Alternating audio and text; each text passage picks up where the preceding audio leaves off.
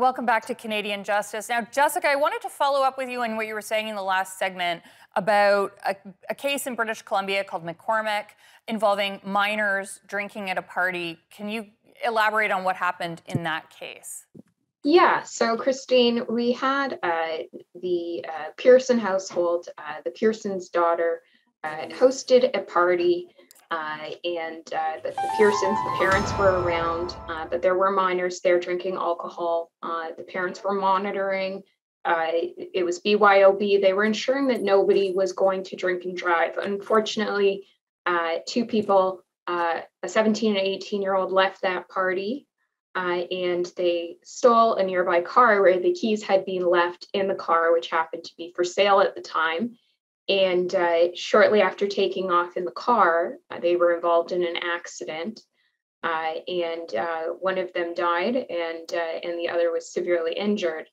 Uh, so um, the Pearsons were sued, and effectively the BC court said, you know what, the the BC court. So in that case, the judge took sort of judicial notice or understood uh, that Salt Spring Island, where the accident occurred, was a small, close knit community where it was common for minors to drink and uh, and smoke marijuana, etc.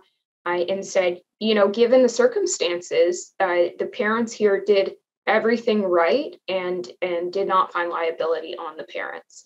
So that case is a good example for what you can do to not be found liable uh, as a parent when you have minors in your house drinking alcohol. I, am so fascinated by this question of what what circumstances could create liability. So, Adam, for example, I live in Toronto, which has many public transportation options available. Is there a difference, a different ability to create liability to, for, between people who live in cities where public transportation, Uber, and cabs are all re- readily available versus someone who hosts a party in a more remote or rural community?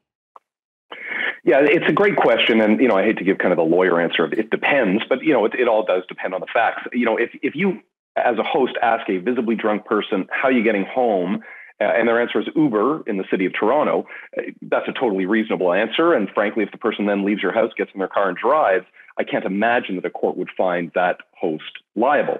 Um, you know, if you live in a rural community where you know that there is no Uber available and the same conversation ensues, you know, the host might have to think twice about how that person is getting home and whether they have a responsibility to do something about it or not, you know, again, depends on the the circumstances.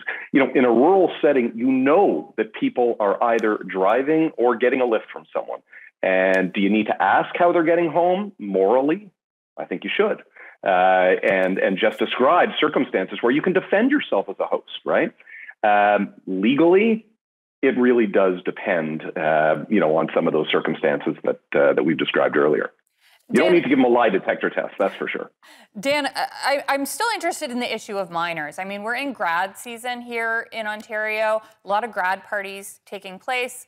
And I, I wonder if there's a difference between a party being hosted when the parents aren't home versus when they are home? Um, is there a difference in the ability to attract liability if you know your kids throw a party because you went away and one of the kids drinks and drives home drunk? Is is that kind of a, a no liability possible situation, or or could it still happen? Well, I basically I'm asking should should parents just should turn a blind eye maybe? Well, I'll tell you what we did. We hosted uh, our daughter's uh, graduation party from high school, and uh, we uh, uh, they all uh, about a hundred of them arrived by bus, by coach, and we hired a security company. We had two security guards, and my wife and I went out for dinner for the night. And so, um, luckily, you know, nothing nothing untoward happened that I know of. Uh, but we, uh, you know, we we we removed all all the uh, the breakables and valuables and covered all the furniture and everything was fine. Um, we were not home, so um, uh, so that's one way to do it, uh, I suppose. I don't believe being absent necessarily attracts liability. Um, it just you know it depends on how you handle the situation, and to some extent you have to know your know the crowd that you've invited. But um, but if you are home, and that you know if you are home, you actually, I, I think, have to pay attention to what's going on because I think there's you have a bigger problem if you're home and um, and bad stuff is going on, like really, you know, excessive drinking uh, and or drug use is going on uh, under your nose, and you're ignoring it. Right. So- it's, it's just interesting to see what different incentives these these the, the law creates for for social hosts. We've got to go to commercial break, but when we come back, we'll continue this discussion.